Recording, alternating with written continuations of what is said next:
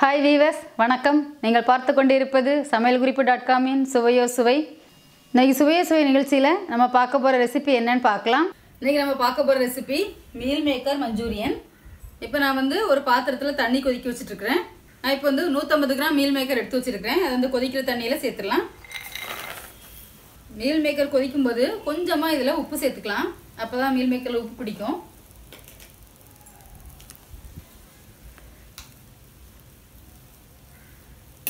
ஒரு two minutes கொதிக்க விட்டிங்கன்னா போதும்.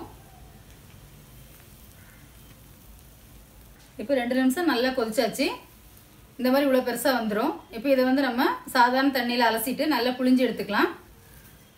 இப்போ நான் சுடுதண்ணியிலேருந்து சாதாரண தண்ணியில் அலசி நல்லா பிழிஞ்சு எடுத்து வச்சுருக்கிறேன். இந்த மாதிரி சாஃப்ட் ஆகிடும் இப்போ நம்ம வந்து மிக்ஸ் பண்ணிடலாம்.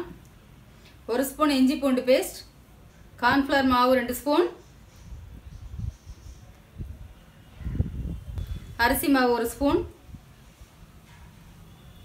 தயிர் ரெண்டு ஸ்பூன் மிளகாய்த்தூள் ஒன்றரை ஸ்பூன் இது வந்து காஷ்மீரி மிளகாய்த்தூள் இப்போ நம்ம இதுக்கு தேவையான அளவுக்கு உப்பு சேர்த்துக்கலாம். இப்போ இது எல்லாமே சேர்த்து ஒன்றா நல்லா மிக்ஸ் பண்ணிடலாம்.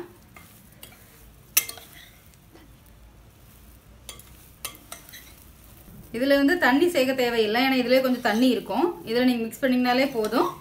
சரியாக இருக்கும் இது. இப்போ பார்த்தீங்கன்னா இது நல்லா மிக்ஸ் பண்ணியாச்சு.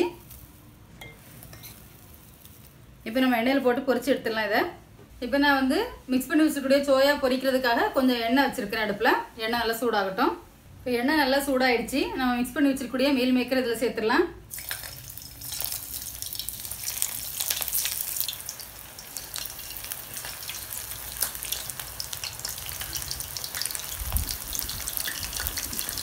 இப்போ இதை பொறிச்சு எடுத்துடலாம்.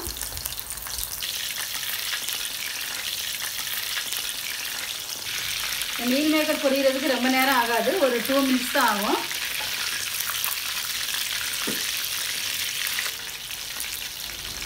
இப்போ மீல் மேக்கர் நல்லா பொரிஞ்சிருச்சு. இப்போ நம்ம இது ஒரு பிளேட்டில் எடுத்துடலாம். இந்த மாதிரி எல்லா மீல் மேக்கரையும் பொரிச்சு எடுத்துக்கலாம். இப்போ மீல் மேக்கர் எல்லாத்தையும் பொரிச்சு எடுத்து வச்சாச்சு. நான் ஒரு பவுல் எடுத்து வச்சுருக்கிறேன். அதில் வந்து ரெண்டு ஸ்பூன் சோயா சாஸ் எடுத்துருக்கிறேன். இந்த சோயா சாஸ் வந்து இதில் ஊற்றிடுறேன் ஒன்றரை ஸ்பூன் சில்லி சாஸ். ஒரு ஸ்பூன் பெப்பர் தூள். கொஞ்சமாக இதில் தண்ணி ஆட் பண்ணிக்கலாம்.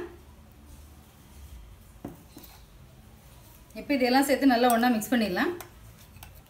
இப்போ சோயா சாஸ் சில்லி சாஸ் கொஞ்சம் பெப்பர் தூள் எல்லாம் சேர்த்து நல்லா ஒன்றா மிக்ஸ் பண்ணியாச்சு. இப்போ இது தனியாக எடுத்து வச்சிடலாம். இப்போ நான் அடுத்ததாக இன்னொரு பவுல் எடுத்துருக்கிறேன். அதில் வந்து ஒரு ஸ்பூன் கார்ன்ஃப்ளவர் மாவு போட்டிருக்கிறேன். அதில் ஒரு முக்கால் டம்ளர் தண்ணி சேர்த்துருக்குறேன். இந்த தண்ணியில் இந்த மாவு வந்து நல்லா கரைச்சிடலாம். இந்த மஞ்சூரியன் வந்து கிரேவியாக வரணும் அப்படின்றதுக்காக நான் ஒரு ஸ்பூன் கார்ன்ஃப்ளவர் மாவில் கொஞ்சம் தண்ணி ஊற்றி நல்லா இதை மிக்ஸ் பண்ணி வச்சுருக்கிறேன். இப்போ இதை தனியாக எடுத்து வச்சிடலாம். இப்போ நம்ம மீல் மேக்கர் மஞ்சூரியன் எப்படி செய்கிறதுன்னு பார்க்கலாம். நான் வந்து ஒரு நான்ஸ்டிக் கடாய் அடுப்பில் வச்சுருக்கிறேன். ஒரு ரெண்டு ஸ்பூன் எண்ணெய் ஊற்றிருக்கிறேன் எண்ணெய் கொஞ்சம் சூடாகிட்டுருக்கு இது வந்து நறுக்குன பூண்டு மூணு ஸ்பூன் எடுத்து வச்சிருக்கிறேன். நறுக்குன இஞ்சி ஒரு ஸ்பூன்.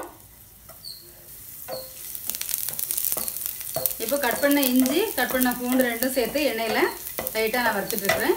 இப்போ லைட்டாக கலர் சேஞ்ச் ஆகிடுச்சு நான் ஒரு பெரிய வெங்காயம் எடுத்து பொடியாக கட் பண்ணி வச்சுருக்கிறேன். அதை இதில் சேர்த்துடலாம். வெங்காயம் லைட்டாக கலர் சேஞ்ச் ஆகட்டும். வெங்காயம் வதங்கிருச்சு. நான் ஒரு குடமிளகாய் எடுத்து சின்னதாக கட் பண்ணி வச்சுருக்கிறேன். அதை இதில் சேர்த்துடலாம் இப்போ இதெல்லாம் சேர்த்து நல்லா வதக்கிடலாம். இது ரொம்ப வதங்கணும்னு அவசியம் இல்லை. லைட்டாக வதங்கினா போதும். ஒரு டூ த்ரீ மினிட்ஸ் நீங்கள் வதக்குனீங்கன்னா போதும் இதை. குடமிளகாவும் லைட்டாக வதங்கிருச்சு. அதோட நம்ம மிக்ஸ் பண்ணி வச்சுக்கூடிய சாஸ் இதில் சேர்த்துடலாம். அதை லைட்டாக வதக்கிடலாம்.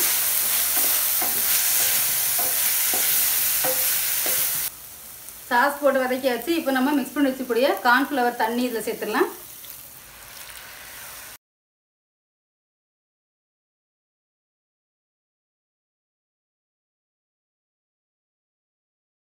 இப்போ பொறிச்சு வச்சுருக்கூடிய மீல் மேக்கர் வந்து இதில் சேர்த்துடலாம்.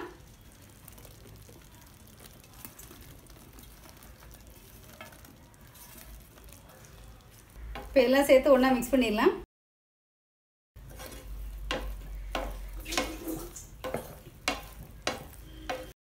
இப்போ இதுக்கு மேலே ஒரு அரை லெமன் பிழிஞ்சு விட்டுடலாம் லெமன் வந்து லைட்டாக புளிப்பு சுவை கொடுக்கும் அதுக்காக. இப்போ எல்லாம் சேர்த்து நல்லா ஒன்றா மிக்ஸ் பண்ணிடலாம். இது நீங்கள் ரொம்ப நேரம் வதக்கணும் அவசியம் இல்லை. ஒரு டூ மினிட்ஸ் வதக்குனீங்கன்னா போதும். ரொம்ப நேரம் வதக்குனிங்கன்னா ரொம்ப கெட்டியாயிடும். கொஞ்சம் கிரேவி பத்தில் இருந்தால் தான் நல்லாயிருக்கும் இப்போ நம்ம அடுப்பை ஆஃப் பண்ணிடலாம். இப்போ இதை நான் கட் பண்ணி வச்சுக்கூடிய வெங்காயத்தாளை வந்து இதில் போட்டுறேன்.